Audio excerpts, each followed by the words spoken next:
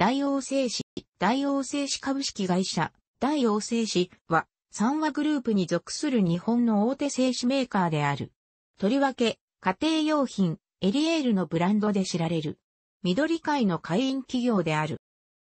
紙、板紙の生産量は約270万トン、2013年、平成25年であり、生産量基準で日本国内では日本製紙、王子製紙、王子マテリアに次ぐ国内第4位の規模を持つ。紙パルプ関連の連結売上高を基準とすると、世界で第20位、国内では王子製紙、日本製紙グループ本社丸紅、連合に次ぐ第5位。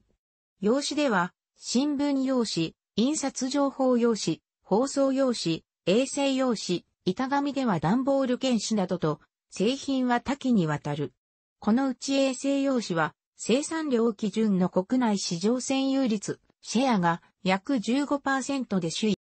売上高は約4、0円、連結、2013年3月期。事業セグメントは、新聞用紙、印刷用紙、段ボールなどの部門からなる、紙、板紙事業、衛生用紙、おむつ、ナプキンなど、最終的に一般消費者へ売りされる製品の部門からなる、ホーム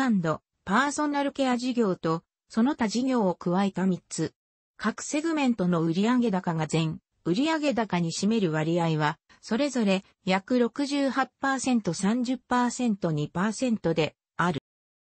愛媛県馬郡三島村、現在の四国中央市出身の井川遺跡地が1941年、昭和16年に設立した四国市業株式会社を前身とし、四国市業など14社が1943年、昭和18年に合併して発足した会社である。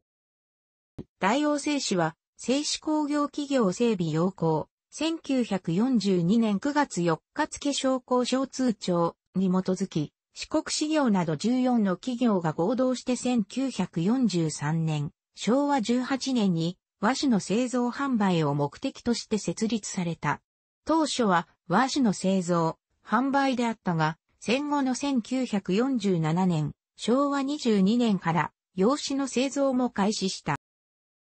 1962年、昭和37年、支払い手形1億6900万円が不当たりとなり、自主債権を断念し、会社構成法の適用を申請した。紙市場の不況と原料高という負担に加え、積極経営による無理な設備投資が重なって、収益と資金繰りの両面が悪化。そのため大口の債権者と経営債権について話し合っていたが、折り合いがつかず会社構成法申請に至った。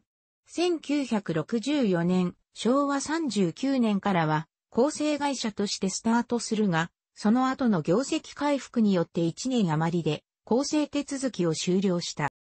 1979年、昭和54年、ティッシュペーパー、エリエールの販売を開始し、家庭紙分野に参入した。スコッティクリネックスネピアなどの大手メーカーの先発ブランドがある中での進出であったが、7年後の1986年、昭和61年にはシェア州にまで拡大した。品種もティッシュペーパーの半年後にトイレットペーパー、1980年、昭和55年に紙おむつ、1981年、昭和56年にタオルペーパー、1982年、昭和57年に生理用ナプキンと順次拡大していった。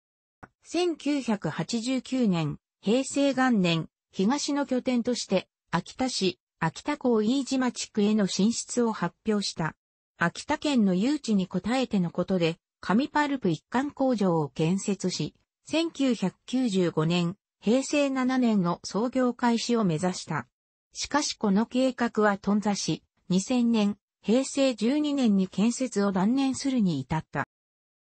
2007年、平成19年、アメリカ合衆国を本拠とするプロクターギャンブルから日本におけるアテント大人用紙おむつの商標権、生産施設など事業全般を取得した。この結果、大人用紙おむつのシェアは1割弱から2割弱へ上昇、ユニチャームに次いで日本国内2位となった。2011年、平成23年、東南アジア向け紙おむつの生産拠点とすべく、タイの現地企業と合弁企業を設立した。続いて、ベトナムの製紙会社に資本参加し、東南アジアへの販売増を図っている。また、国内市場においてもペットシーツ、エリエール・イルールの販売開始し、ペット用品事業に参入した。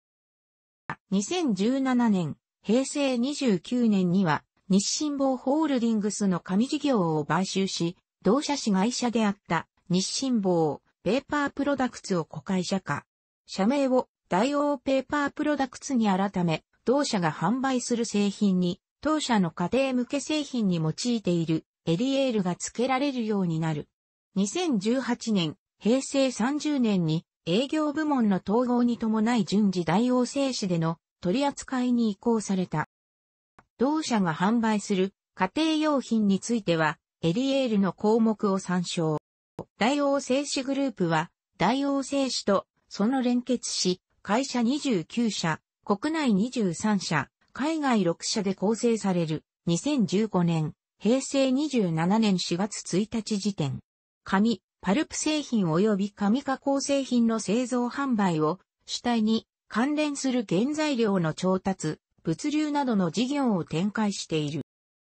グループ企業のうち、大王製紙と同じく紙製品の製造、販売に従事する製紙会社は赤ビラ製紙株式会社、北海道赤ビラ市、岩木大王製紙株式会社、福島県岩木市、大津板紙株式会社、滋賀大津市、大宮製紙株式会社、静岡県富士宮市、大成製紙株式会社、岡山県津山市、大日製紙株式会社、静岡県富士市、播磨ペーパーテック株式会社、兵庫県加古川市、丸菱ペーパーク株式会社、愛媛県四国中央市の8社。そのうち赤ビラ製紙、大宮製紙、大成製紙の3社がティッシュペーパー、トイレットペーパー等の家庭紙を生産する。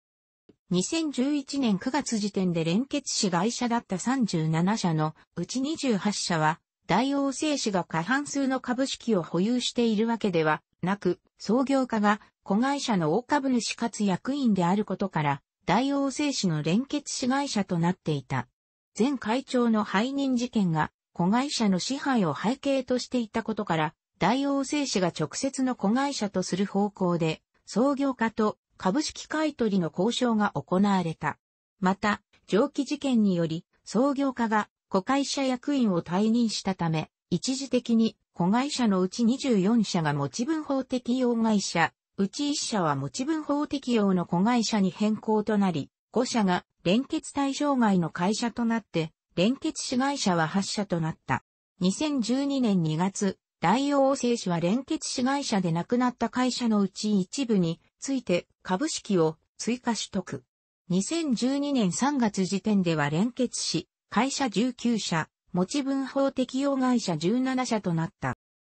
2012年第2四半期に創業家が北越紀州製紙に譲渡した関連会社株式を大王製紙が取得し、2011年9月時点で、連結子会社でなかった6社を含め、連結子会社は43社となった。2013年4月1日に、連結子、会社17社、非連結子、会社10社を合併し、連結子、会社7社、非連結子、会社1社とする再編を実施。2014年4月1日に、連結子、会社1社が、連結子、会社2社、非連結し、会社1社を、おさむ合併している。この他海外子会社が2013年度内に2社、2014年度内に2社が新たに連結対象となり、国内連結子会社は2013年度内に1社が売却、1社が生産、2014年度内にさらに1社が生産された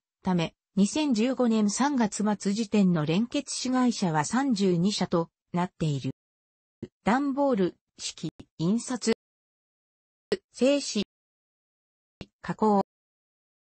H&PC、ホームパーソナルケア生産会社、エンジニアリング、運輸、流通、サービス、海外。